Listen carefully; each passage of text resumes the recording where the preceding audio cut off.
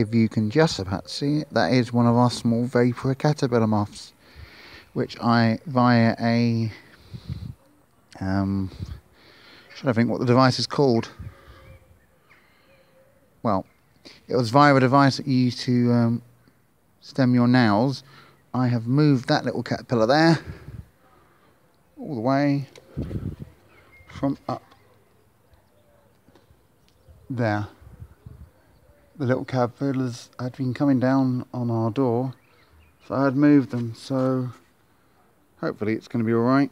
It was a nail file, by the way. This, ladies and gentlemen, is called a nail file, and that's what I was using to uh, move the caterpillars from, well, sorry, in for the camera work, from here onto there. So hopefully all those little caterpillars are going to be okay. I've moved seven in total. They're called vapourer moths, caterpillars. Extremely nice looking. Unlike the all for this video. Anyway, have a good day everyone. Bye.